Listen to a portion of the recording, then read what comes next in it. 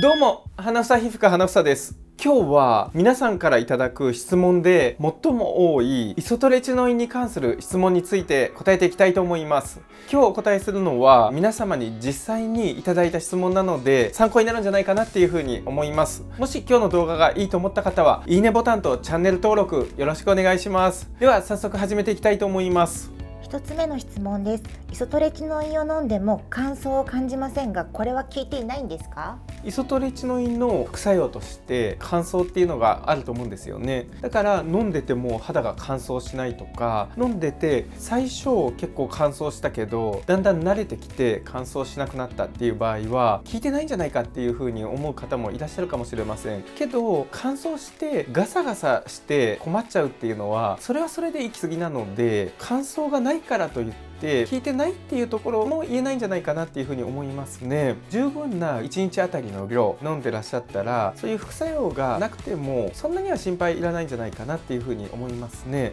乾燥もガサガサがひどければイソトレチノインを減らさなきゃいけないとか一旦中止しなきゃいけないっていう話にもなってくるので副作用はないに越したことはないんじゃないかなっていうふうに思いますけどね。続いての質問です。ゼオスキンのセラピューティックや強めのレチノールなどを併用しても大丈夫ですか？これはね基本的には慎重にもしくは控えた方がいいっていうことになりますね。イソトレチノインそのものがビタミン A の活性型のものになりますよね。なのでつけ薬も強いレチノールとかあとゼオさんのセラピューティックとかこれもね結構トレチノインとかイソトレチノインとほぼ同じものなんですけどそういったものをねつけ薬で使うっていうのは重複になって副作用が出やすいのでかなり注意した方がいい。できればね避けた方がいい治療方法かなっていうふうに思いますね。次の質問です。もう一度積算量について教えていただけますか？積算量っていうのは最終的にどこまでの量を飲めばいいかっていう話につながってくるんですけど最終的なゴールとしては体重 1kg あたり 128mg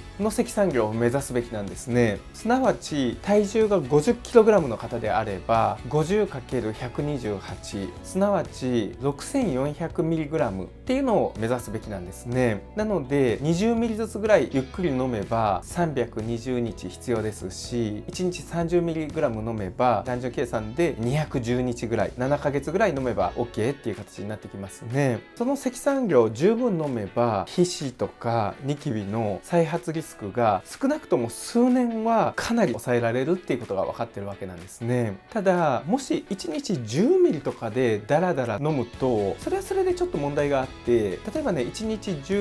10ml640 日2年近く飲めばいいかっていうとそうはちょっと言えなくて多分ね 10ml ぐらいだったら効果が蓄積していかなくてやっぱりね体重 50kg ぐらいの方であれば最低 20ml は必要かなっていうふうに思ってますね。次の質問ですイソトレチノインは使用性なので牛乳と飲んだら効果はアップしますか？確かにイソトレチの使用性で食事中もしくは食後に飲むようになってるんですけど牛乳と一緒に飲んだら効果が上がるかっていうのは実はね私の調べた限りエビデンスが存在しないのであんまり気にしなくてもいいんじゃないかなっていうふうに思いますね。いずれにしろ現実的には食事の後に飲むっていう形でいいんじゃないかなっていうふうに思いますね。先生イソトレチノインを飲んでいて急な手術になった時はどうしたらいいですか？イソトレチノイン飲んでる最中は大きな手術は避けた方がいいって言われてるんですけどその根拠は傷の治りに影響して傷跡が残りやすくなるからって言われてるんですね。でも緊急の手術例えばね虫垂炎になってしまったとか何か大きな怪我をしてしまったとかそういう時ははっきり言って例外でそちらの手術の方を優先しちゃっていいと思うんですよね。傷が治るまでイソトレチノインは中止っていう形で問題ないと思います。イソトレチノインを飲んでる時は血液検査は必要ですか？これ病院によっては検査せずにイソトレチノインを処方してるクリニックもあるみたいなんですけど基本的にはっていうか標準的には採血必要ですよね。イソトレチノインを飲む前にまず採血をしておく必要があります。これどうして最初にイソトレチノインを飲む前に血液検査をしなきゃいけないかっていうとそこで異常がないかチェックしておかないと例えばコレステロールの値が上がってきたってなったとしても元からあったのかイソトトレチノインのせいでそうなったのか分からなくなっちゃう。後になっちゃうとその辺りが完全にブラックボックスになっちゃうっていうのが一番の問題で一番最初イソトレチノインを飲む前に血液検査をしておかなきゃいけないっていうのはそういう理由なんですよね。まず血液検査をします。通常は飲み始めて1ヶ月後に副作用が出てないかのチェックのために採血が必要です。その後量を増やしていけばその都度1ヶ月後の検査が必要になってきますね。飲むべき量のピークに達しました。もともと 30ml まで飲む予定で1日 30ml の量まで達しました。1ヶ月後採血をして問題ありませんでした。こうなってくるとしばらく例えば3ヶ月ぐらい採血を開けても問題ないと思いますね。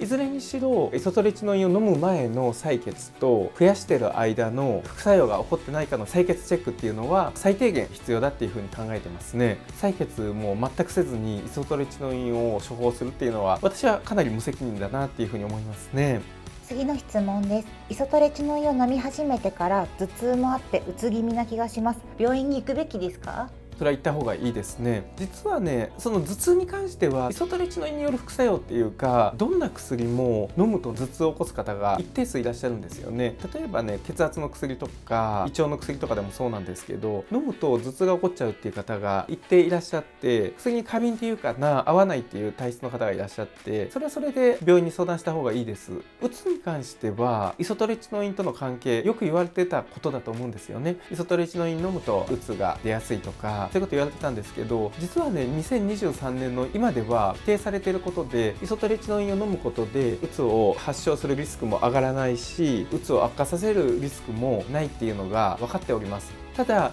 エビデンス上そうっていうことと個人においてそうっていうことはまた別次元の話なんですよね。エビデンスではうつを増やさないっていうことが分かってても個人のレベルではうつが悪化してしまうっていうことがあってもおかしくないわけなんですね。これ例えばねこう考えていただきたいんですけど野菜は体にいいっていうふうに言われてますよね。でも野菜をたくさん食べて具合が悪くなる人も中にはいるわけです。野菜が体質的に合わないっていう人もいるわけですよね。野菜は体にいいっていうエビデンスがあるにもかかわらず野菜を食べると具合が悪くなる人もいるっていう。それと同じなんですね。人口全体で見るとうつは悪化させないっていうことが分かってても個人のレベルで見ると話は別になってくるわけなんですね。うつが悪化してもおかしくないわけなんです。なのでその場合はすぐに処方してくれた病院の方に相談するっていうのがおすすめですね。次の質問です。アクネトレントからルアキタンなど他のイソトレチノインのメーカーに変えても大丈夫ですか？そういうご質問も確かに多いですよね。イソトレチノインって言ってもいろんな種類があるので他のメーカーの方が安いから他のメーカーに変えたいとかいろいろあるんですけど一つはね病院から処方された薬そちらの方は使うっていうのは最低限やった方がいいですよね。ネットの個人輸入っていうのはやっぱりね変なメーカーのものが混ざってたりとか品質が保証されてないものっていうのも結構多いと思うのでその品質が保証されてるものすなわち病院のものであれば品質が保証されてるものなので病院で処方してもらったものにするべきだなっていうふうには思うんですよね。